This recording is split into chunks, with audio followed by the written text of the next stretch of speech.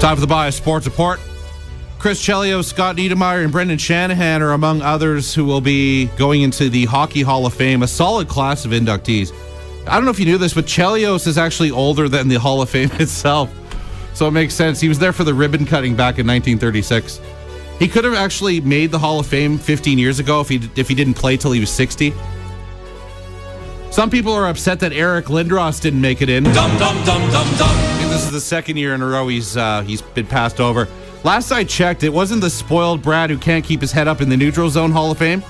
It's the Hockey Hall of Fame. Dum dum dum dum dum. Scott Niedermayer actually went third the year Lindros went first overall.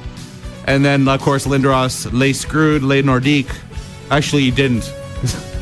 Because the Nordiques got like an entire team from Philadelphia in that trade. You remember who went second overall in that year? 1991. Do you remember? Between Lindros and Niedermayer? 875 1061. Who went second? Huh? Uh, no, see, I don't know. It was Pat the Hammer Falloon. Dum dum dum dum dum. That's right, the face of the San Jose Sharks, man. I remember I had a Falloon jersey. I actually did. The pride of Foxmore in Saskatchewan, or Manitoba, wherever he's from. Over 2,500 Patriots fans turned in their Aaron Hernandez jerseys for new jerseys of non murdering football players. Uh-oh.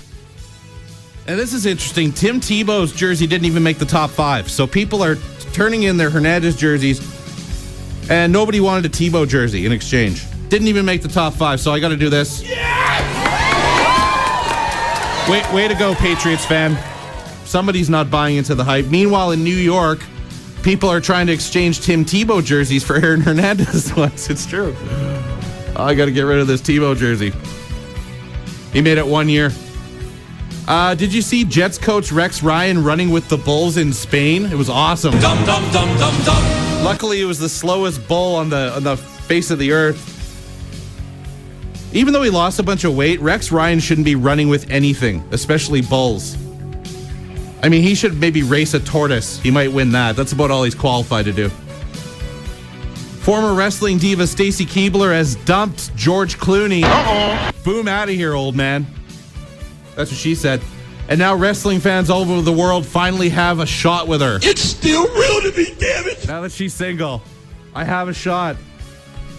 Like that guy, like this guy. It's still real to me, damn it. He, he was at a house show in Albuquerque, New Mexico in 2001, and she like touched his hand, smiled at him, and he thought, I have a chance. You never had a chance, wrestling guy. You still don't. You never will. It's still real to me, damn it. You know what? I don't have a chance either. I don't have a chance either. Sunshine Girl Tasha can't wait for the Hope volleyball tournament this Saturday. Can't wait. She can't wait. I have no idea what that is or where it is, but I can't wait either. Can't wait. That'll be good.